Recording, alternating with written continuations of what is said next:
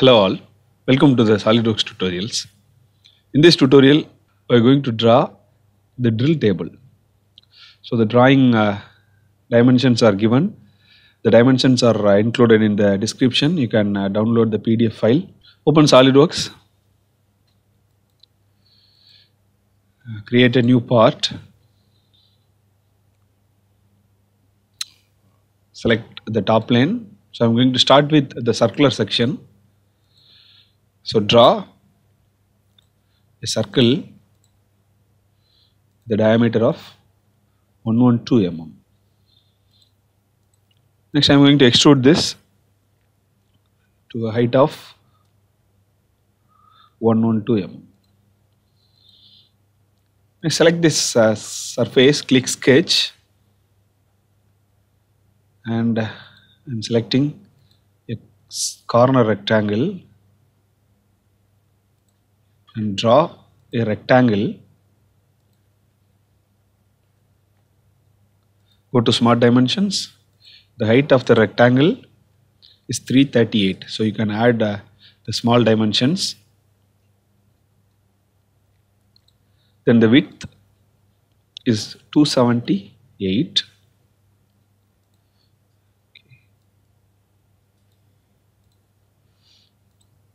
Then this is at a high distance of 100 mm from the center.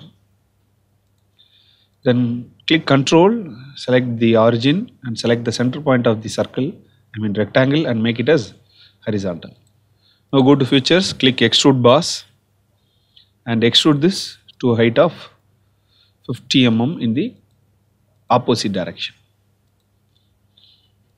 Okay, fine.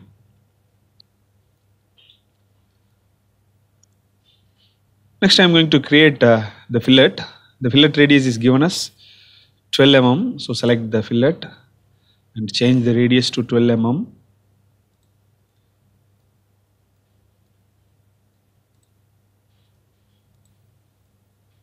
Okay. Click OK.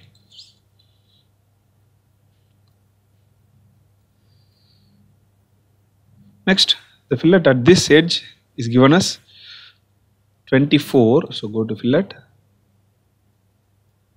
and choose this edge. And fillet radius is 24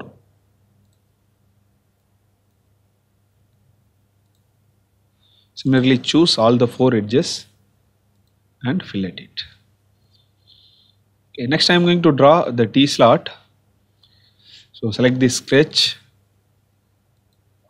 And click Ctrl 8 to view it in the normal direction. Now select the rectangle and draw a rectangle here and the rectangle is at a distance of 19 mm in each side.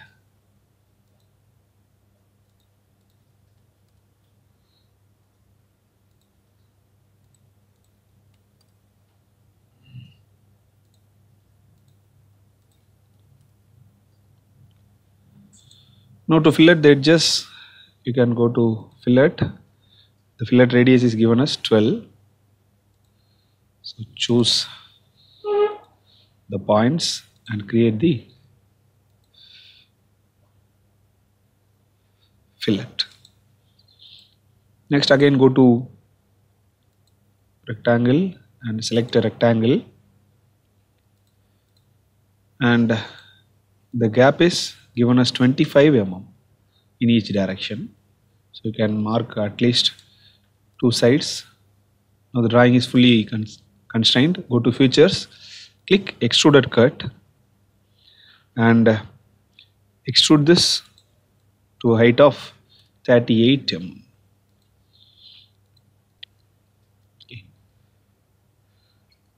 Now go to fillet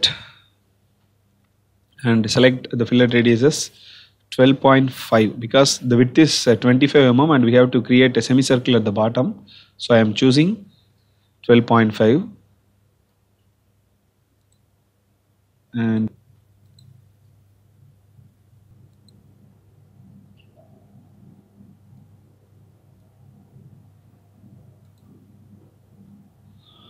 then click OK. So now we have created uh, the curve. Next to draw the T-slot, select this sketch, click Ctrl 8 and go to line tool and uh, draw the profile of the T-slot.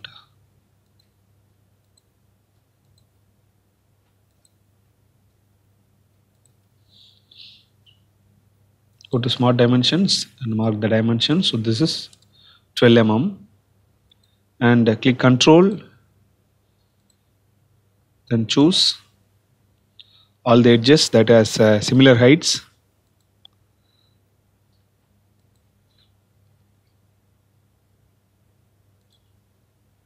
And make it as equal.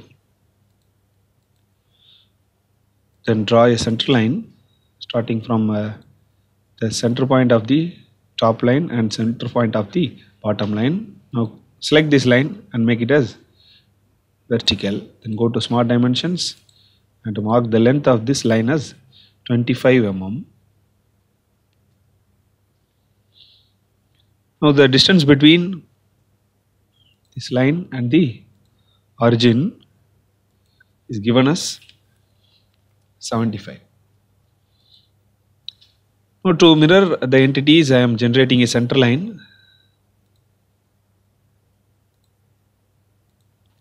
Now go to mirror entities, entities to mirror, you can select the lines and mirror about the center line. Click OK. Now go to features, select extrude cut and choose up to surface and select this surface. Then click OK. Fine. Next select uh, the front plane, click sketch. Now we are going to connect these two. So select the line tool and uh, draw a line from the center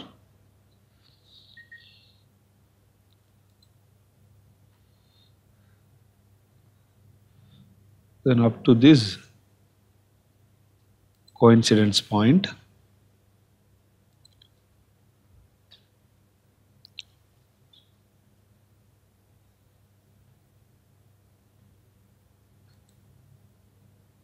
and complete the sketch. Now go to smart dimensions and mark all the dimensions. So the height is 50 plus 38. The dimensions are actually given in the left side and uh,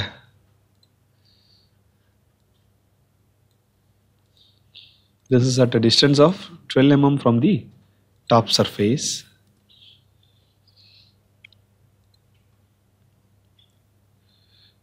go to smart dimensions and uh, the distance between these two points are given as 145 mm then this height is given as 50 mm okay. Now uh, go to fillet. Choose this edge and select a fillet for 12 mm now click control select one point of the line and select the vertex and make it as vertical. Now go to features, click extruded boss and choose mid plane and uh, the extrude distance is given as 50 plus 38 so actually it is given here so it is 50 plus 19 plus 19 now click OK. Similarly select the front plane, click sketch. Now we'll draw the left side uh, projection. Select the line tool and uh, draw a line from the center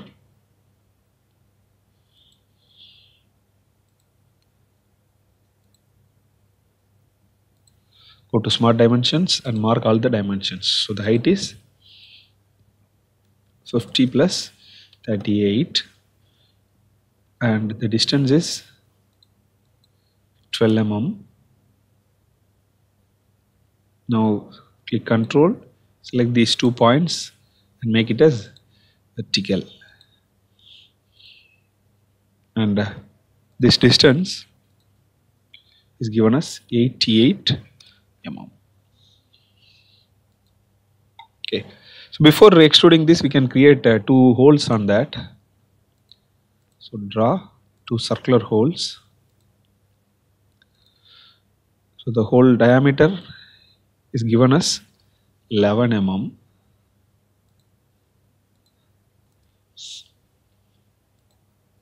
And the holes are at a distance of 68 mm from the center. And the distance between these two holes are 50 mm. Now select control, select these two centers and make it as vertical. Now you can mark the vertical height, it is 19 mm. Now go to features, click extruded boss, select mid plane and extrude this to a distance of 76 mm.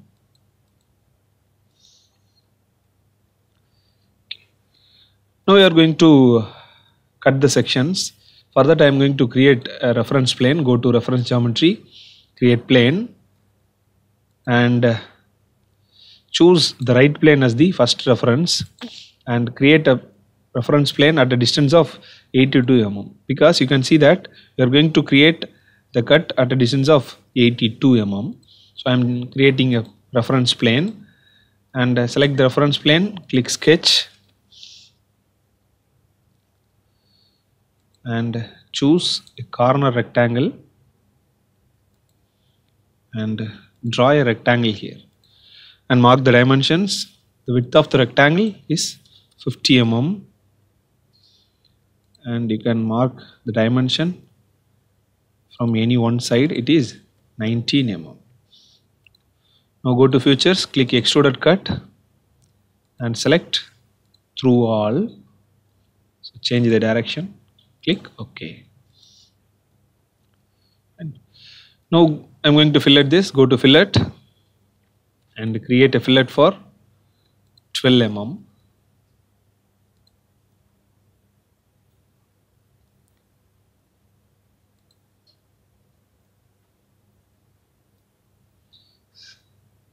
Similarly here also you can create the fillets.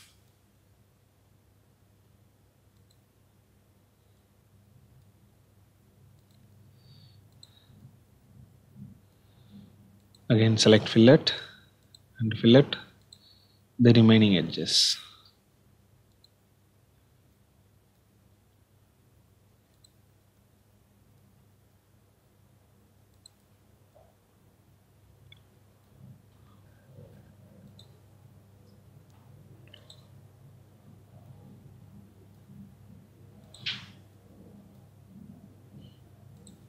now click ok now if you want you can uh, hide this plane. Next I'm going to create uh, the hole here. So click sketch and draw a circle to create the hole. And uh, the circle diameter is given as 75 mm. Then draw a corner rectangle. And the width is 3 mm and the distance from the center is 1.5 mm. Okay. Go to trim entities and trim the unwanted regions. Now go to features click extruded cut and select through all So now I have almost completed the drawing. Next I am going to extrude a 3 mm. So for that I am selecting this surface, click sketch and uh, go to convert entities and choose these three rectangles and click OK. Now I have created uh, the lines Go to features, click extruded boss and extrude this to a height of 3 mm. Okay, so now you can see that we have extruded for a height of 3 mm. Now we can apply the material. So I am going to apply a material of uh, gray cast iron. So it's not here. So I can go to edit material and I can choose iron and gray cast iron. Click apply and close. So now we have completed uh, the part modeling. If you want to verify your uh, model, go to evaluate, choose mass properties and you can evaluate the mass value. Okay. So one percentage of uh, deviation is uh, generally permitted. If your uh, model comes within one percentage, then uh, your model is perfectly right. Thank you.